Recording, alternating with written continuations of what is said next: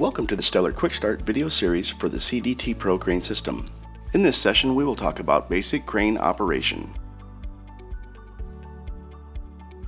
The CDT Pro remote can run multiple functions at the same time and the speed is proportionally controlled.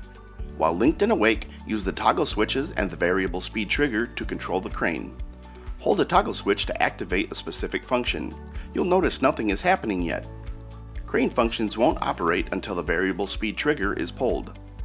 Pulling the trigger controls that function's speed. The harder the trigger is pulled, the faster the crane will operate. The lighter the trigger is pulled, the slower the crane will operate. This provides precise control for you. To stop a function, simply release the variable speed trigger or release the toggle switch.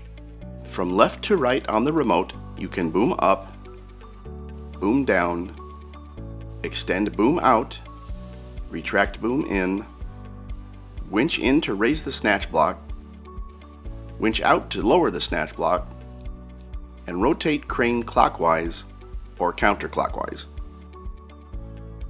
While performing boom up or down, the display will show you live and changing boom angle.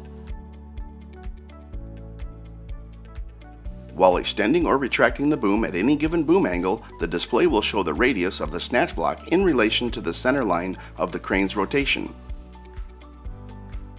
While operating the winch, the weight of the attached load is displayed. If the rotation switch is toggled, or likewise if no switch is toggled, the percentage of current load compared to the total capacity of the crane at that pick radius is displayed. As always, it is recommended you read the manuals completely that came with your Stellar Crane system and familiarize yourself with the safety, operation, and maintenance procedures thoroughly before operating.